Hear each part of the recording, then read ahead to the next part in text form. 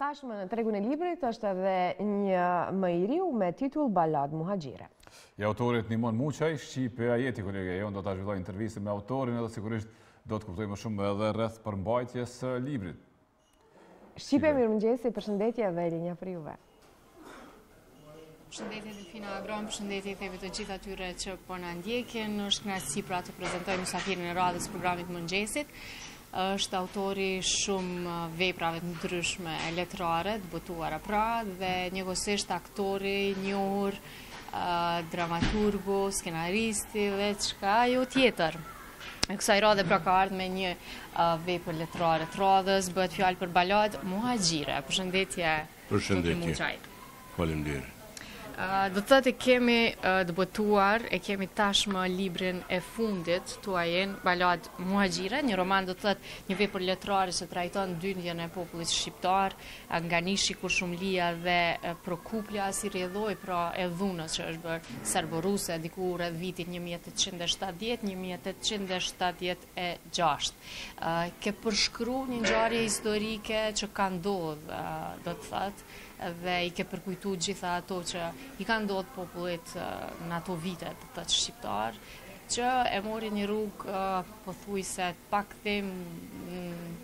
drejt Turqisë dhe dhe vendeve tjera të rajonit.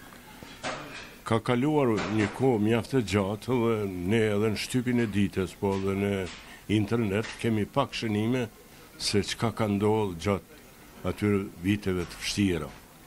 Ne kemi pasur rast si popull ta përjetojmë eksodin e vitit një mijë e nëntëqind e nëntëdhjetë e tetë nëntëdhjetë e nëntë drejt Shqipërisë, Maqedonisë edhe shteteve tjera.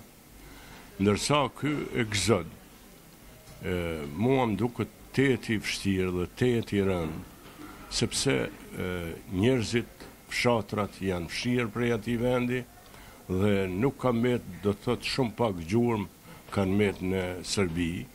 në ato vende si Nish, Kurshumli apo Prokuplje dhe ata një herë do të thotë në një periudhë i kanë qujt muhaxhir.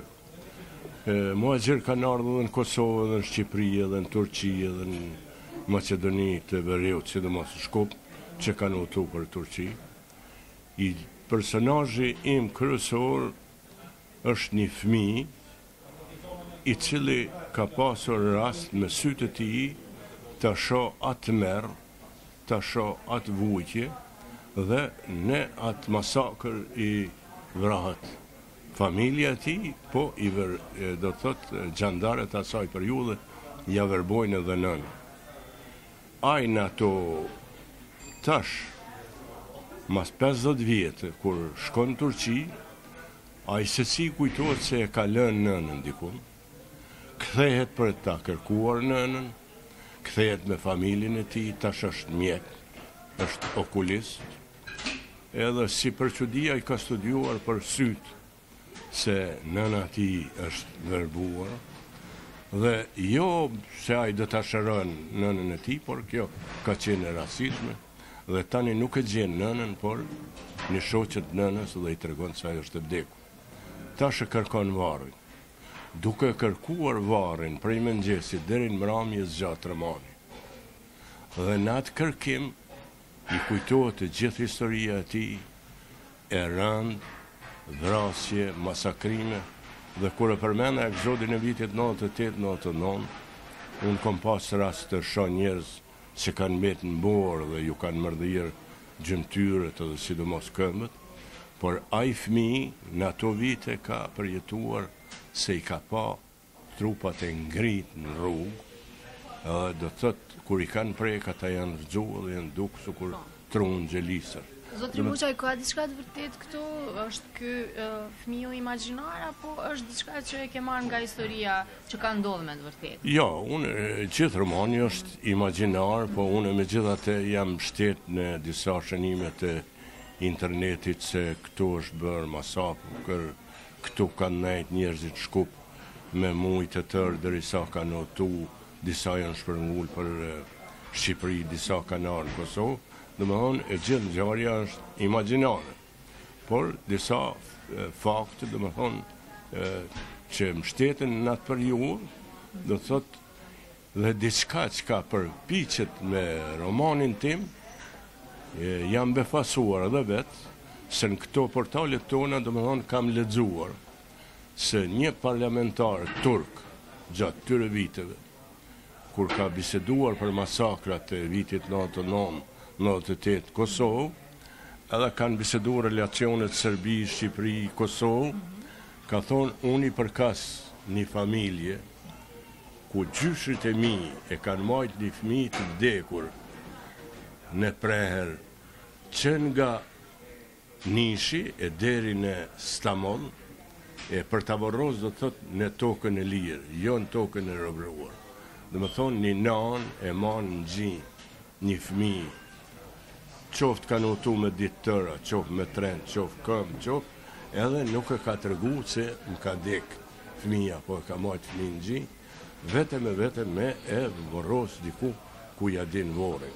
Kështu që kjo me të vërtet është e rëndë, sepse shumë nëna, shumë njerëz nuk po i din ku i kan djemt e tyre në këtë luftën e fundit, e mos flasim domethënë për ato vite se ato ne vetëm mund t'i imagjinojmë. Zotri Buçaj a ka qenë si shtytje do të thotë mosdokumentimi i fakteve Të shumta, siç thatë, pra ka shumë pak përshkrime për kohën e kësaj periudhe, do të 1870-1876, nuk kemi të dhëna të shumta dhe kjo ndoshta ka qenë si shtytje që ta bëni një vepër të tillë që ka në vete shumë histori.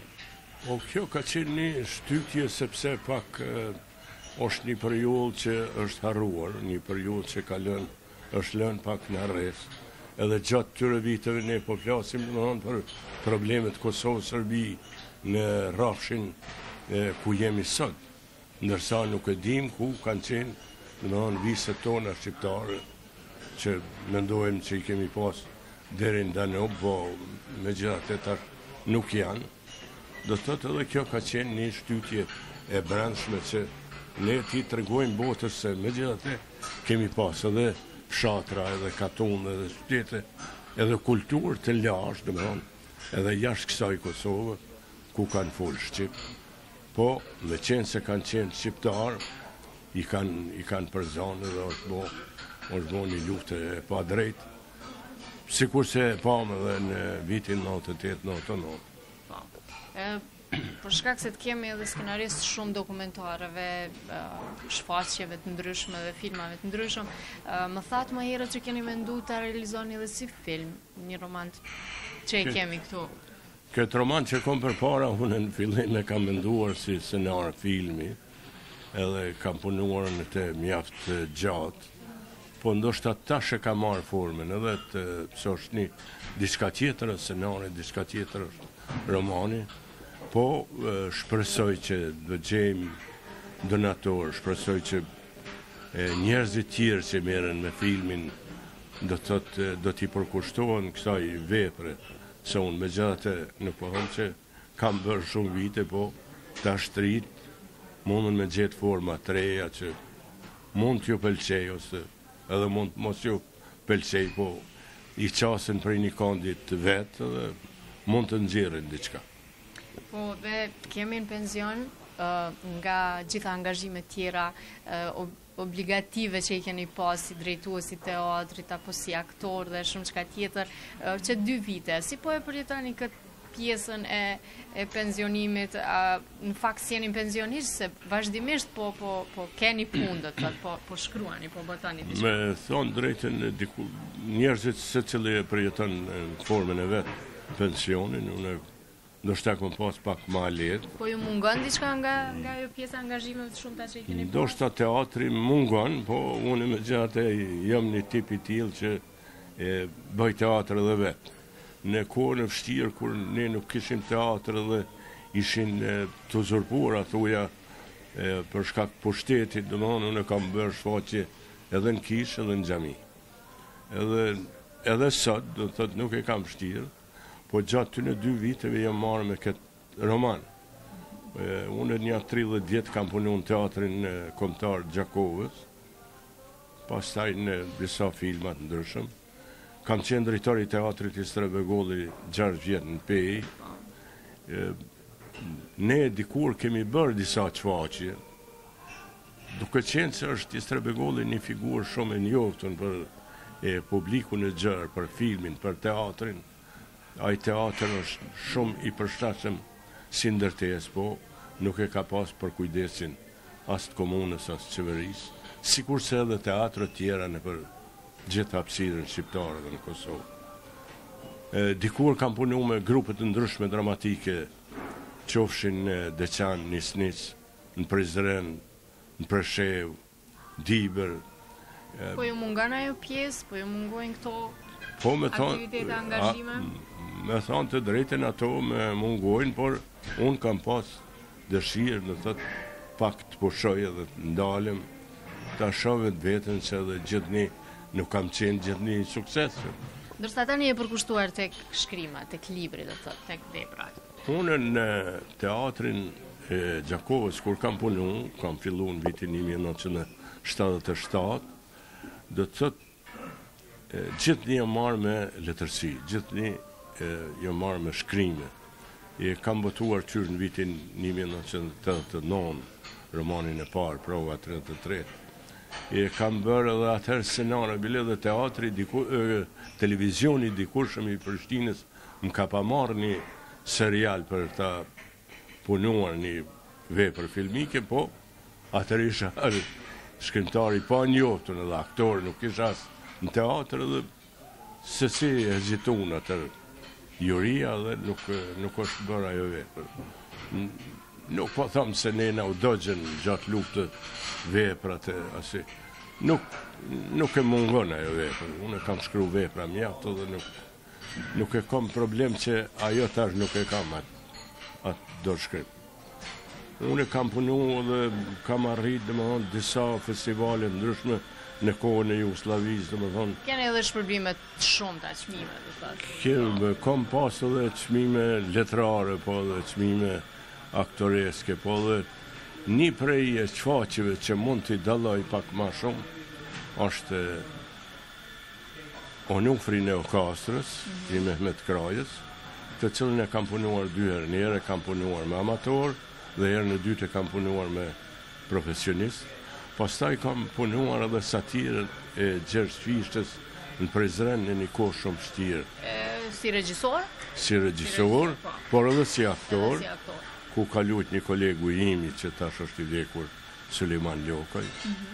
Një prej satiristëve do të thotë shumë mirë dhe që e ka, domethënë, hapsira shqiptare, është edhe Gjergj Fishta, nuk është Fishta vetëm epik, por është një, një, një, një, një poet mjaft, mjaft i thellë, po edhe sat, satirik, sepse në Gomarin e Babatasit, të gjitha ato ngjarje që ne po i shohin sot, Në parlamentin tonë dhe në parlamentin e Shqipërisë kanë ndodhur edhe në kohën në kohën e Ahmet Zogut. Po vazhdon historia, do të thotë, zotri Muçaj. Po. Zotri Muçaj, falenderoj shumë për gjitha këto informacione, suksese për librin e fundit dhe Me siguri që ka edhe shkrime tjera që jeni duke përgatitur, nuk është, nuk do të jetë ky libri që Po, unë me, me këtë libër duhet megjithatë të falenderoj Bashkësinë Islame të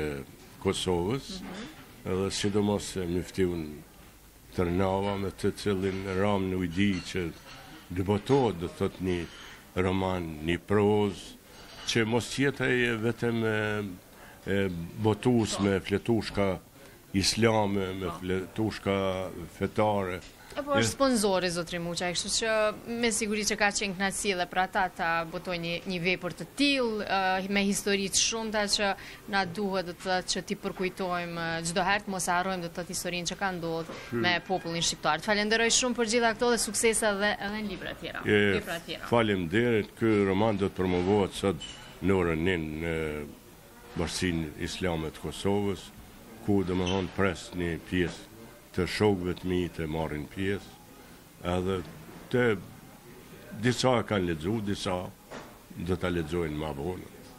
Ju falënderoj edhe juve. për mundin angazhimin. Faleminderit shumë, ishte kënaqësi.